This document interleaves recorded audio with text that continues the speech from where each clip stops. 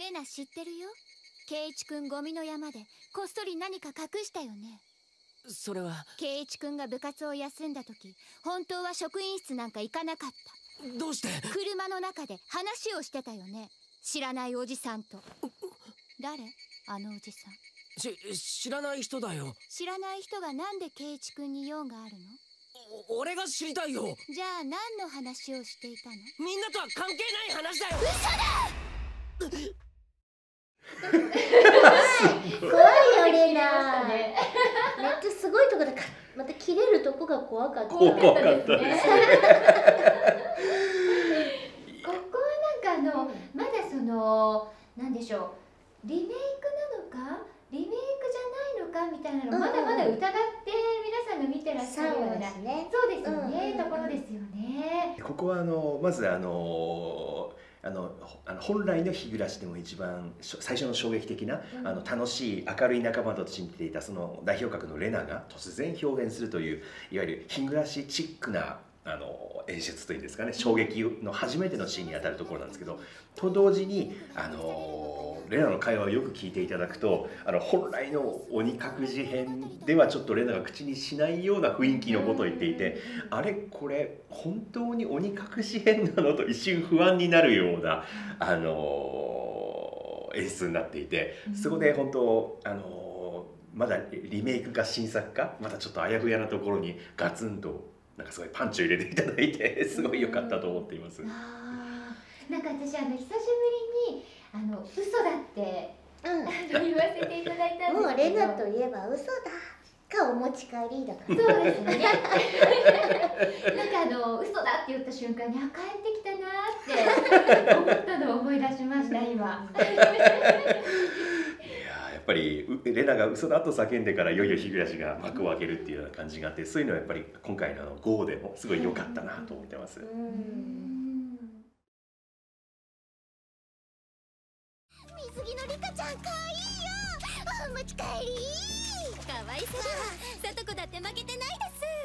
抱きつかないでくださいませまあ褒めていただいて悪い気はしませんけど。楽しい。でもあの楽しいイベントの直前になんかすごい惨劇があったような気がするんですけど。そうです急にあそこでほなんかほのぼのしてますけどね。はい。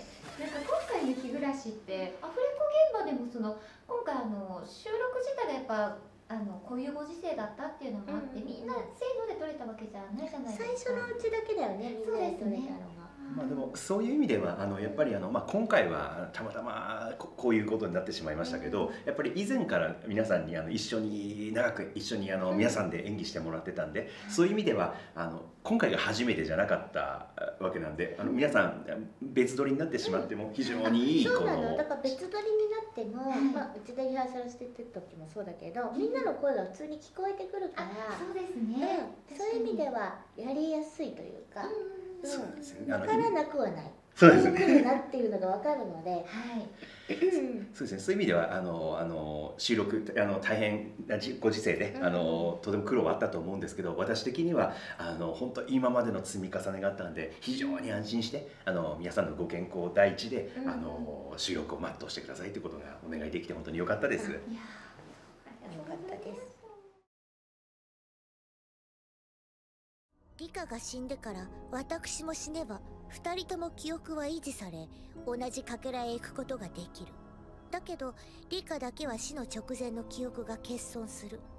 それを利用させていただきますわリカ。あなたの心を砕くために。私そういう意地の張り合いは得意ですのよ。やはりそなたは我が干渉に値する。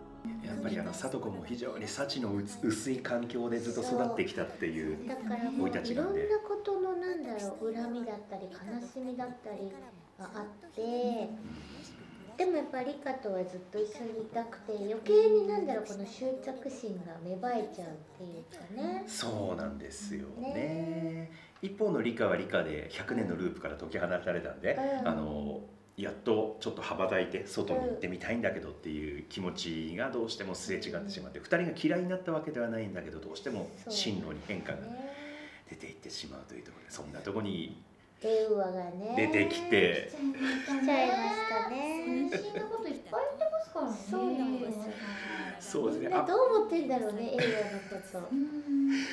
そうですね。なんか最初「エウア」って名前が出るまではなんかちょうどオープニングの歌で「あざ笑った」って歌詞が出るところにエウアが笑う笑みが入るんで「あざ笑ったさん」って呼ばれたって聞いて。あ あの名前が出るのがエウアが出るから結構後じゃないですか。そうかそうだよね。いやーでも、うんはい、あのエウアはすごい意味深で不思議なこと言ってますけどそれやっぱり人間とはステージの違う存在なんで、うん。言ってることがほとんど理解できないくらいに神の神？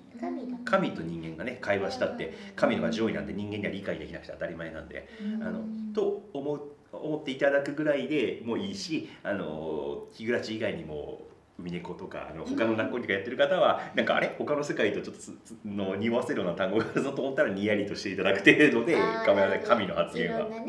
でも先生さエウアがさタトちゃんが「えー、うんあー」って言ったからエウアだったけど先生的にエウアはなんでエウアだったんですか？えっとねいやまあこれあ言えなはいことか。いやいやここで初初めて言っちゃってもいいんだけど、うん。実はあのエウアは本当に前の世界ではエウアって名前名乗ってたんですよ。あ本当だ。たでまたまじゃあ以前の世界でも、うん以前の世界の里子の存在もそれをエウアと呼んで認識してたはずなんですよ。なるほど。それで、あのー新しい世界に来たら里子がそうさ再会したつもりでいるんだけど里子は自分のことを防湿していた。うん。でがっかりしていた。じゃあ私のことなんか新しい名前で呼んでいい？よって言ったら偶然にも「ええうーわ」って言ったんでうん「あ覚えててくれたじゃん。やっぱりそなたはそなたであったな」っていうでも里子はよくわかんないでふーんという。でもこれはあのもう神様が独りよがりに言って喜んでることなんでうん。あの人間の身ではなんか勝手に神様が喜んでるからええわでいい。で いいと思います、まあ、そういった隠し設定がございます。なるほど。すごいこんな聞けちゃった。聞いてよかった。圭一さんだけではございませんの。レナさんやシオンさんたちも明らかに他のかけらの影響を受けていましたわ。ふん。我が力はこの世界には強力すぎる。繰り返すものが力を使えば小さな影響や変化が累積していくことはあろう。いわゆるあの奇跡のシーンですね。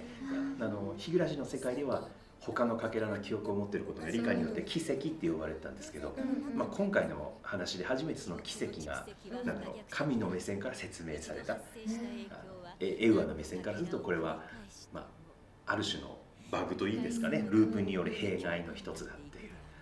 えっとですねあれはあの要するにあのえあの里子がループをすればするほど要するにあの圭一のような他のかけらの記憶を持つものが徐々に増え出すということを言っているんであのこれから物語の中でね一見過去と同じような物語になったとしても、ね、前とは違う変化がどんどん累積して起こってくる可能性がある。だから場合によっては思わぬ人物が過去の記憶をも持ってループしてしまってその後の行動に変化を与える可能性これまでと違う動きを始める可能性があるという。なるほど。でそれが誰かはわからない。そうですね。あの時点では、ね。まあ、すぐ分かってしまうんですけどあの時点では分分からない。里子にとっては思いにもよらぬ人物に影響を与えてしまったという話なんですよね。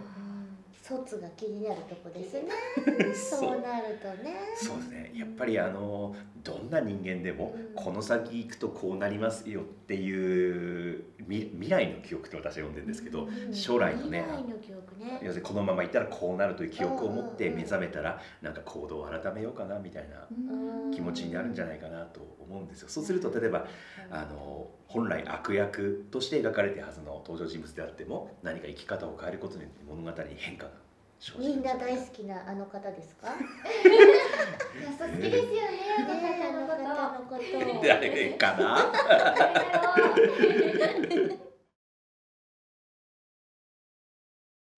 わしとたまにでもええんね。一緒に飯でも食ってくれんか。それこそ虫が良すぎますわよ悪い連中との付き合いはきっぱりとやめる。里子を二度と叩いたりせん。約束する。いやこれ本当素晴らしい演技をしてもらいました。